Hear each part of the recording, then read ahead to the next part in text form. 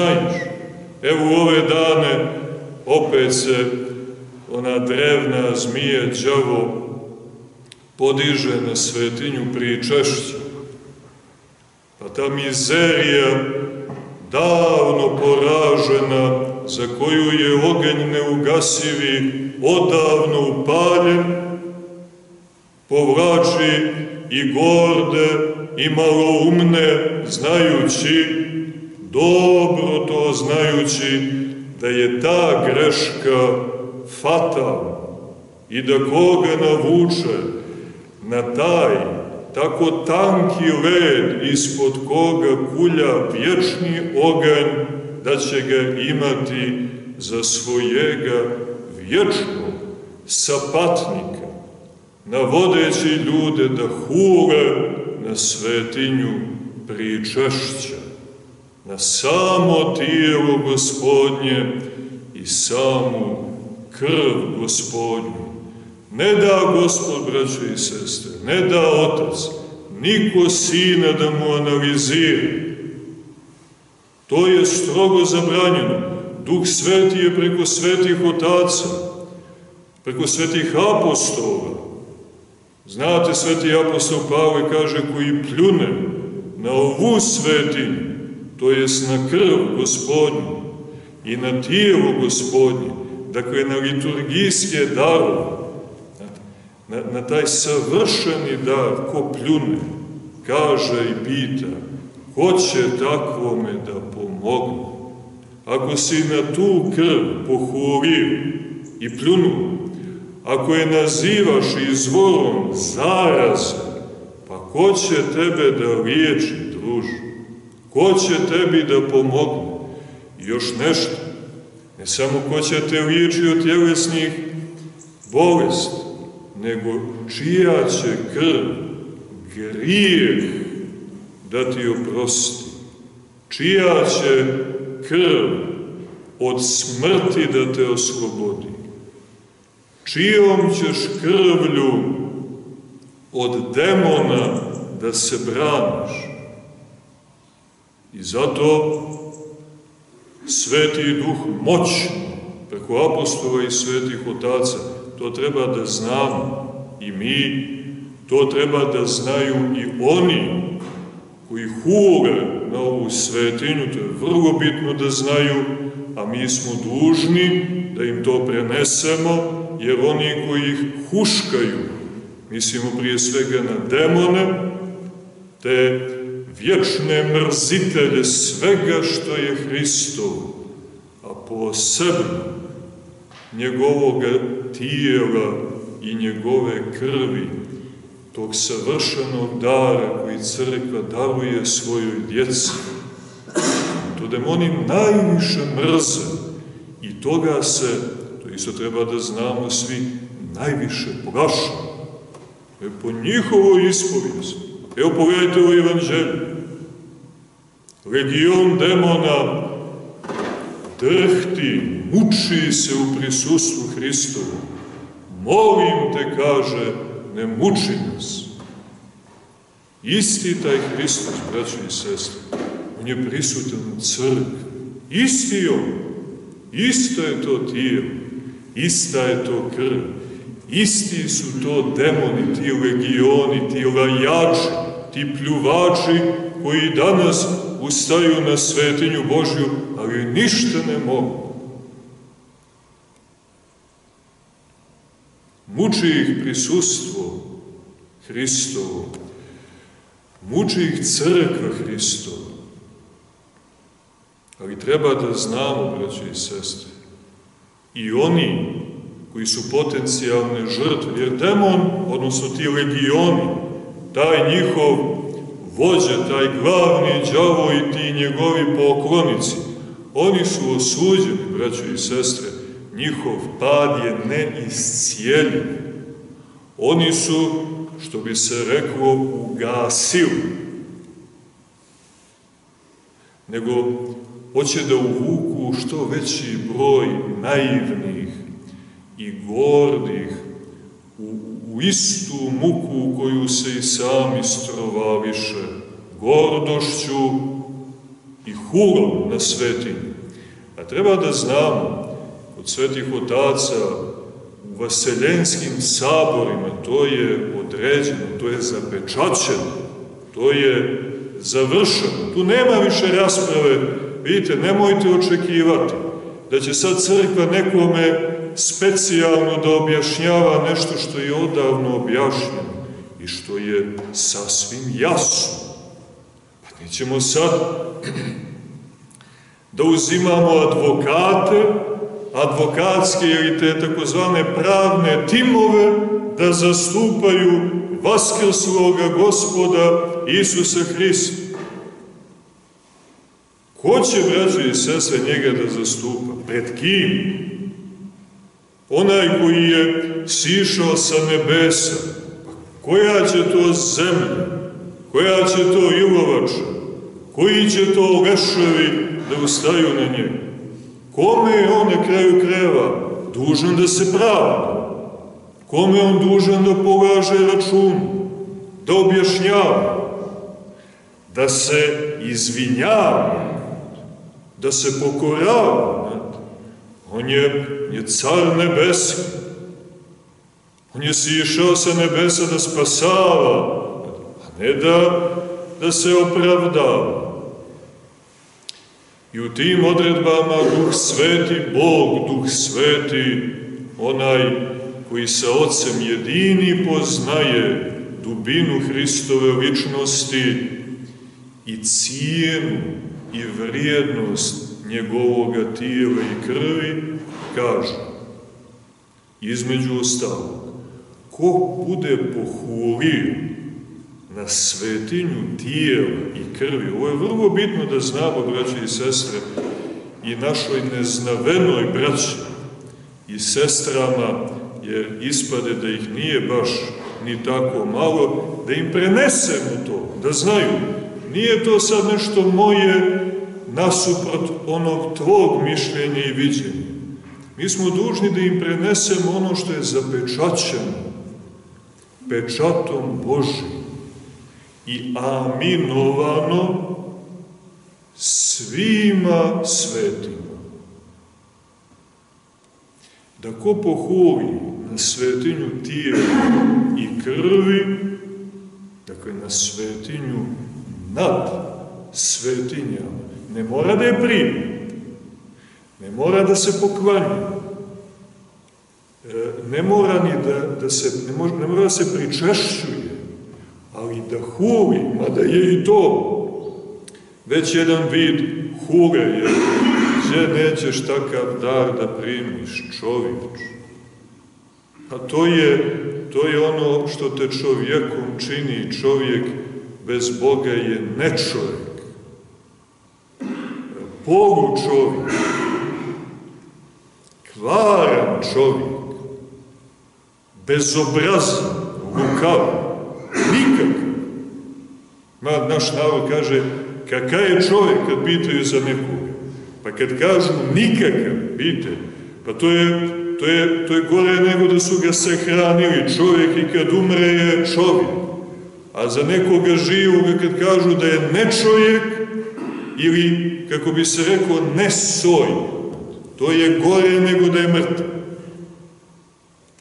A čovjek, svaki od nas, je laž ako ne primi onu infuziju koja dolazi kroz ova, ova proćenoga Sina Božega, ako, ako se ne sjedini sa savršenim čovjekom, a kroz ličnost Isusa Hrista i savršenim Bogom. ali posebno oni koji hure na svetinju pričašće, oni potpadaju, ovo je braćo i sestre, veoma važno da znamo. Vidite, epidemiološke službe, one ne upozoravaju na to. Virus grijeha, grijeh. To se potpuno ignoriše. Evo sad ispade neki COVID, neka korona kao, znate, sad neki prvi problem. Kao mi do sad nismo imali problema, a odjednom se pojavljuje neki COVID za koga su svi čuli. Za Hrista nismo čuli. Za COVID, o, da kako? Odjednom ispade C vitamin, poželjniji i silniji od, vidite, onog, onog božanskog, blagodatnog vitamina ljubavi Božije.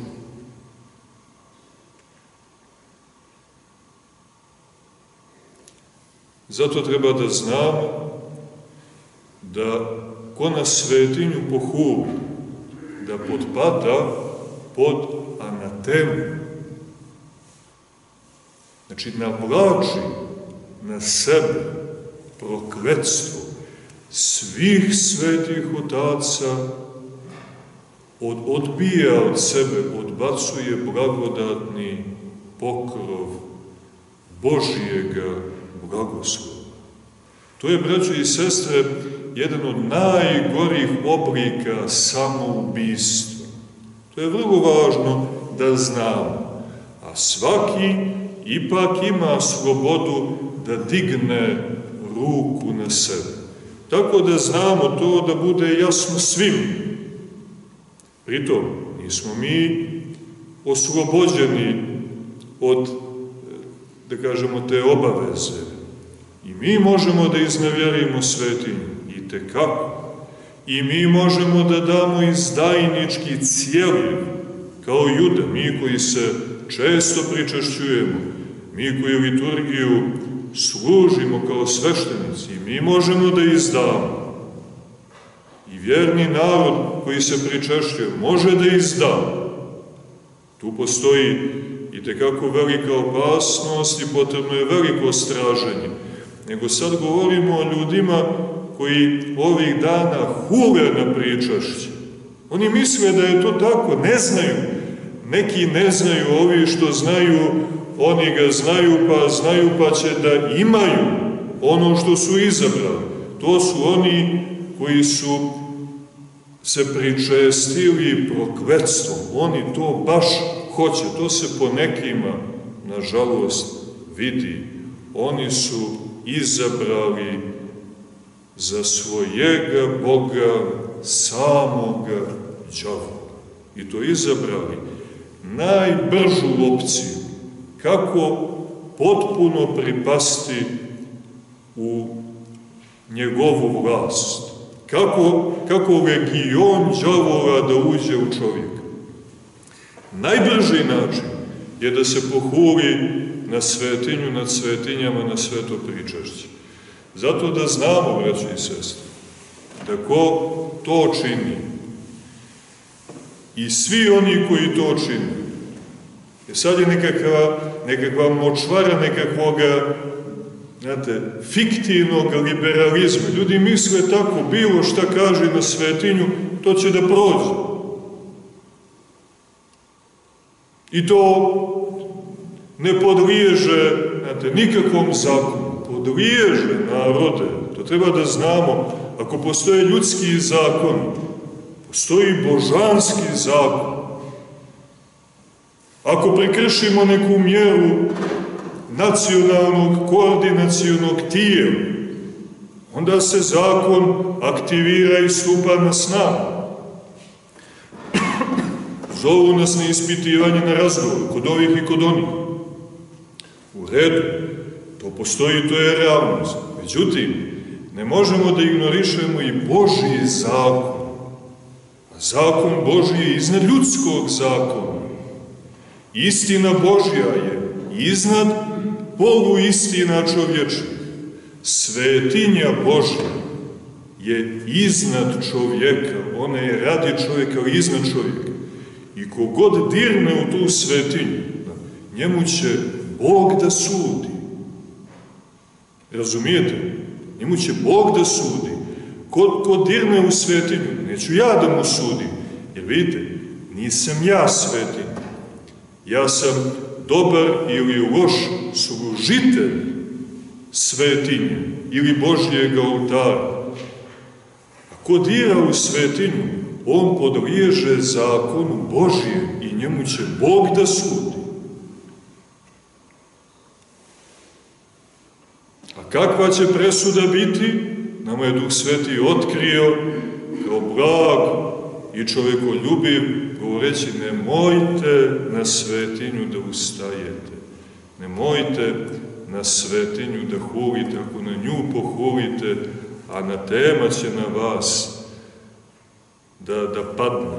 To je spovlačenje Božijeg blagoslova i onda onda ide stihijska, vidite, dinamika muke, prokletstva. Teško se posle izvući iz toga. Zato još jednom, eto i u ovaj dan da se podsjetimo da je Gospod među nama, da je zaista među nama, to se vidi po tome kako se demoni muče, pogledajte kako im je teško, pogledajte kako kukaju, kako ih, kako ih prži Hristovo prisustvo, a to ćete da vidite po tome kako se odnose prema crkvi, kako ustaju na nju, nije to na nas, to je na njega, braćo i sestri. Ko smo mi, razumijete? Mi, mi smo bez njega ništa. I bit ćemo nešto ako budemo jedno sa njim. To je taj novi identitet. E, to njegovo daje vrijednost mom životu. Bez njega svaki od nas je obična laž. Ništa čovjek. I, I nema potrebe mi da se osvanjamo na svoje djela. Apostol Pavle kaže, vjeruj u njega, poklanjaj mu se, tome je spasenje. A što se dijela tiče, pa ne, ona ne mogu da izostanu. Svako će dati po, po mjeri svojih snaga, po mjeri svojega dara. Svako će biti zahvalan, samo je bitno da dar prepoznamo onako kako su ga prepoznavali naši svetitelji, naši sveti preci, naš raspeti Hristu odani, mnogo grešni, ali mnogo napaćeni, raspeti narod i da ga prepoznajemo prisutnog u tajni, u tajni liturgije, u tajni pričašća i da posvjedočimo i onima koji to još ne znaju, koji to još ne vide, da je Hristos sa nama Bog. To nije Bog koji je daleko, to Bog koji je sa nama, Emanuil, On je obećao da će biti s nama u sve dane do svršetka vijeka. I evo ga, i danas, u, u ovaj dan i u ovo jutro, zaista prisutan, potvrđujući te svoje riječi i ispunjavajući to svoje veliko i svešteno obećanje i za koji trenutak, kad budemo čuli, gdje govori o uzmite, jedite, ovo je tijelo moje, koje se za vas lomi na otpuštenje grehu. Ne možemo, braći i sestre, da prihvatimo da to možda bude izvor bilo kakvog problema. Čovječe pa oslobađa od grijeha, ako, te oslo, ako oslobađa, i ako napada, i ako liječi grijeh, koji mi ignorišemo i ne priznajemo kao bolest, mi priznajemo neki virus, i u redu, i priznajemo ga, Ali kakva je to diagnostika, kakva je to diagnoza ako ne priznajemo grije, koji je primarna bolest ljudske prirode. Sve druge izviru iz nje. Ako tijelo gospodnje i krv gospodnja liječe grijeh, dakle primarnu bolest, a kako oni mogu da djeluju negativno, braći i sest, kako mogu da budu izvor bilo kakvog drugog problema. Kako mogu da budu posticaj za bilo kakvu sumnju? Pa čuješ i čovječe. Ili ti možda ne osjećaš da si grešan, pa ti ne treba ljeka. A, to je već druga dijagnoza. Ona najteža.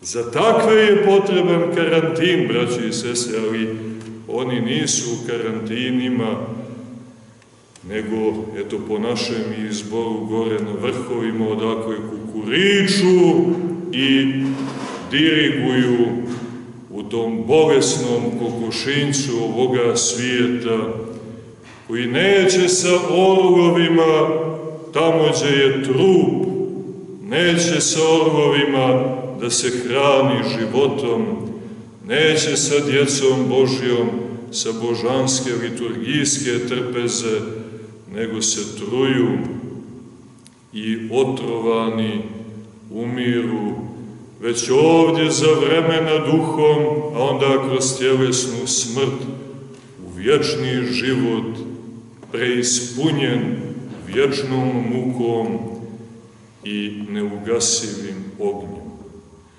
Od svega toga da nas oslobodi ljubav Božja, milost Božja ovaj svešteni liturgijski dar, tijela i krvi Hristove, u kome imamo sve, vječni života, to podrazumijeva i vječno zdravlje, vječno zdravlje je vječno vjerovati i vječno blagodaran biti Otcu i Sinu i Svetome Duhu Trojici jednoslušnoj, životvornoj i nerazdeljivoj, koji od nas neka je poklonjenje i vremeno, daj Bože i ono vječno. Amin.